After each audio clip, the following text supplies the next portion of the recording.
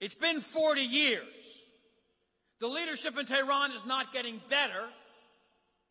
They've gone from bad to selecting a war criminal,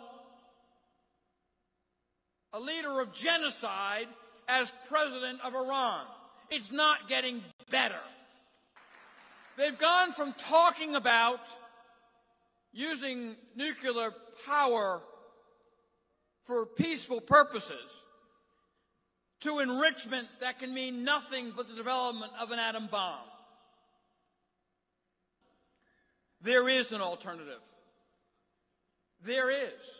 There's one. And that one organization has the means, the leadership, the focus. That organization is the MEK, and Mrs. Rajavi is its leader.